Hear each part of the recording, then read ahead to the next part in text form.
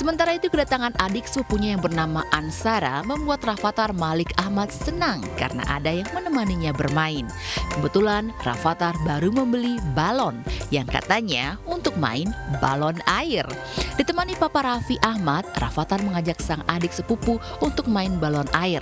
Tapi sebelum main, Rafathar memberi syarat dulu kepada papanya. Waduh, syaratnya apa ya? Bawa Ayo kita isi air yuk. Yuk. Let's Jangan danatin ke ayah papa. Ya. Oh. Oh. Cukup pak, cukup. Belum, dikit lagi. Oke, matiin. Jatuhin ya. Satu, dua, tiga, empat, lima, dua puluh. Wah, ada yang bocor, A. Gak apa-apa kan? Yang bocor gak apa-apa ya. Dah. Semua balon sudah diisi air. Saatnya permainan dimulai. Balon dilemparkan ke papan yang menjadi target lemparan hingga balonnya pecah dan airnya terpancar. Ayo, kita lempar ya. Ansara juga lempar sini. Terusin dulu sayang. Terusin aja. Aduh, Satu, kanan target. Saya lihat. Satu, dua, tiga. Ya, nggak pecah.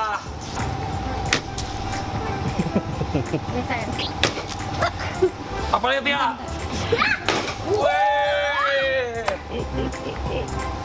Ah, kurang tenaganya.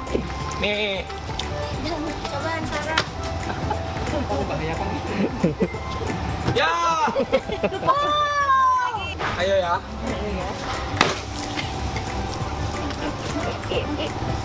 Ah, kurang. Ya,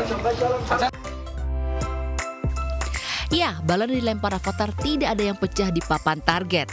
Alhasil, target lemparan Rafathar beralih tidak lagi ke papan target, melainkan ke Papa Raffi yang sering menggodanya.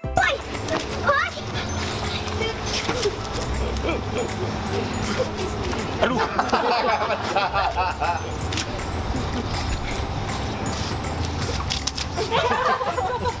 Udah. ah. Kalau kasihan itu. Kame, kame.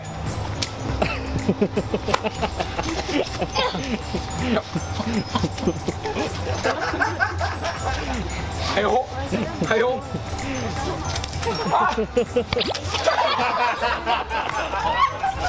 Eh, udah tuh. Oh jatuhin licin.